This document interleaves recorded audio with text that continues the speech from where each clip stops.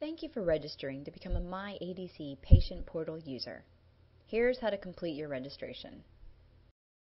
Start by finding and opening the email message MyADC sent you with your temporary password.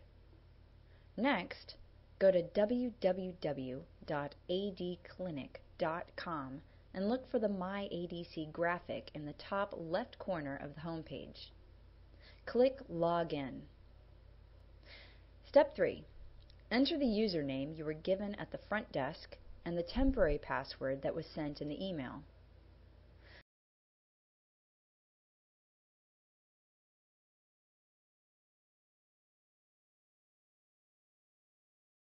Now that you're logged in to MyADC, you will be immediately prompted to reset your password. Your new password must be a minimum of seven uppercase letters and one numeral.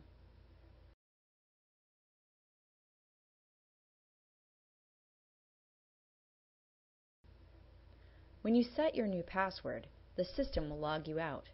But you're not done yet. Log in again using the same username and the new password you just created. Once you're logged in for the second time, you'll need to do three more things to complete your registration.